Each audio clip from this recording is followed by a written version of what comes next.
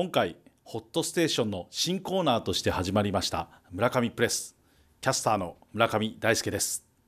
嬉野市のいろいろな話題を皆さんにお伝えしながらそしてまちづくりに生かしたいという考え方で始めたコーナーです。どうぞよろしくお願いいたします。さてこの第1回目のテーマは部活動の今中学スポーツの未来は？です。男子バレーボール部が全国大会出場全国中学駅伝大会に男女アベック出場など昨年度部活動で輝かしい成績を残した塩田中学校。そういった中塩田中学校の部活動が今年度より4つの部で1年生の入部を停止することになりました。自分がやりたいスポーツを部活動でできなくなった生徒さんが出てくる中保護者さんや地域の方が協力して新しい活動の場を作った社会体育のクラブがあります。今日はその新しく設立された男子バレーボールクラブ嬉野ホットスプリングスを紹介します。保護者や地域の力で作られた新しいスポーツ活動の場はどのようなものなのか取材してきたのでご覧ください。村上プレス記者の塩野村上です。今日は今年4月に新しく設立されたバレーボールのクラブチーム嬉野ホットスプリングスの練習にお邪魔しています。ここ塩田中学校の体育館では今聞こえているようにものすごく気合の入った子どもたちの声が響いています。早速熱血取材をしたいと思います。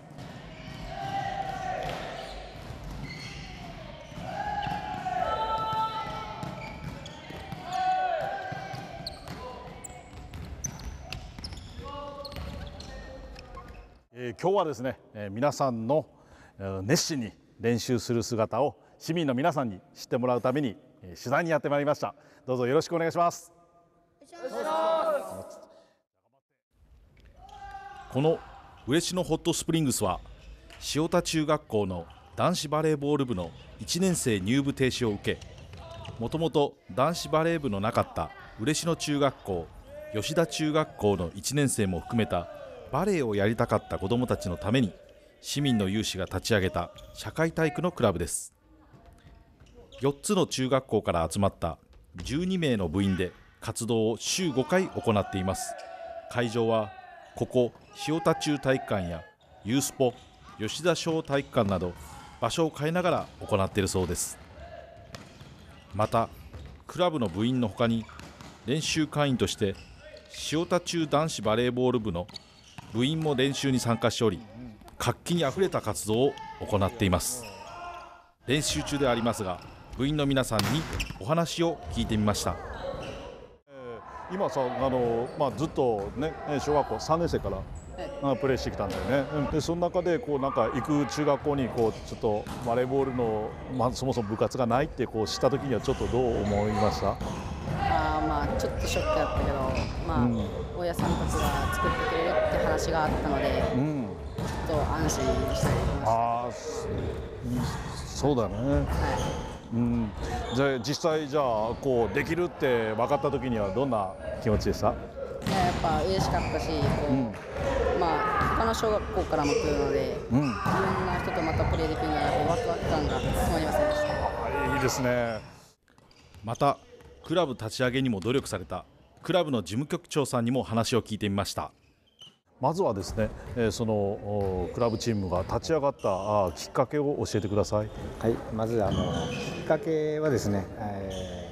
ーまあ、嬉野のジュニアのチームが小学生で初めてできまして、まあ、その子たちが中学校に上がる時にですね、まあ、嬉野中学校のバレー部というのはもうない状態でした。で塩田中学校に関してもですねバレーボール部はもう1年生も入部できないということを聞きまして、まあじゃあそれでもやっぱバレーをしたいという子たちの熱意が強かったので、えーまあじゃあクラブチームを立ち上げようかということで、えー立ち上げました。子どもたちの思いに応えたということですね。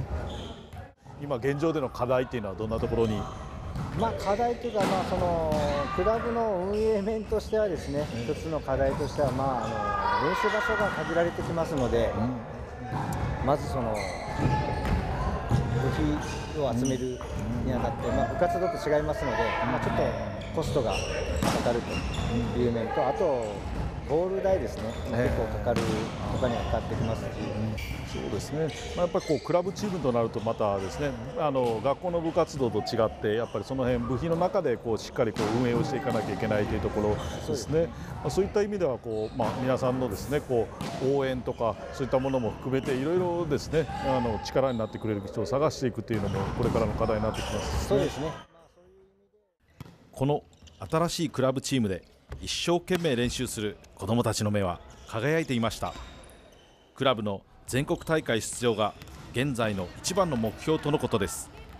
新たな一歩を踏み出した嬉野ホットスプリングス。頑張ってください。嬉野ホットスプリングスこれからも頑張るぞ。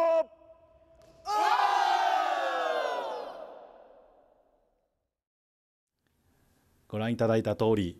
好きなスポーツができる子どもたちの表情はとても輝いていましたね。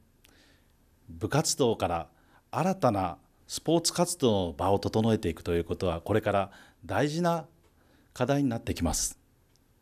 少子化でチームができなかったりまた先生の働き方改革の流れの中で部活動顧問が確保できないというような問題もこれから生じてくると思います。学校側としてもですねこの部活動として存続したいという気持ちをですね、持ってはいるんだけれどもやはりその人繰りのところで、どうにもならない現実もそこにあるわけでありますけれどもここに保護者であったり地域の皆さんが一緒に力を合わせてこうした子どもたちがスポーツに親しむ場を整えてもらったというのは本当に素晴らしいことだというふうに思っています。しかしこのクラブ活動を続けていくためにはクラブ関係者の努力だけでは難しい部分もあるのも現実です。補助金であったりとかそういった行政としての支援というのも大事なのですがそれよりも一番大事なのはクラブとそして学校側の連携ではないかなというふうに思います。学校現場でできないことを社会体育が支え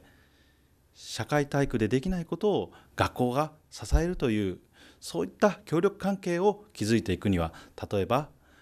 社会体育で、え使っている施設というのは複数箇所あるわけでありますけども学校側がそうした施設の開放に前向きに検討をするということも考えられますし逆に社会体育の中で起こった出来事そういった子どもたちの関係などを情報を学校に提供するというような連携が考えられるのではないでしょうか。いずれにしましても今後は部活動の数そのものが減っていくことと考えられます。そうした意味ではこの嬉野ホットスプリングスの取り組みというのはモデルケースになるというふうに思います。子どもたちが好きなスポーツができる環境を地域と協力して整えていく。そのために私たちも全力でサポート体制を築いていくことが大事だと思っています。現状のルールでは社会体育のチームは学校単位での参加が原則となる全国中大連に参加ができないそういう現実も今あるわけです。しかしながらそうした中学のスポーツの最高峰の舞台に立ってもらうためにも私たちは文科省や関係者にも訴えていくような取り組みも大事になってきます。地域のスポーツを盛り上げるために持続可能なモデルを作っていく。そして無限の可能性を秘めた子どもたちが好きなことができる環境を整えてあげるというのは私たち大人社会の責務だというふうに考えています。嬉野ホットスプリングスはまだ活動を始めたばかりでありますがこれからもさまざまな課題に直面すると思います。このテーマはこれからも継続的に追っていきたいというふうに思っています。第1回村上プレス部活動の今中学生スポーツの未来はいかがだったでしょうか？これからも市民の皆さんの取り組みや市内の動きを追ってまいりたいと思います。次回もお楽しみに。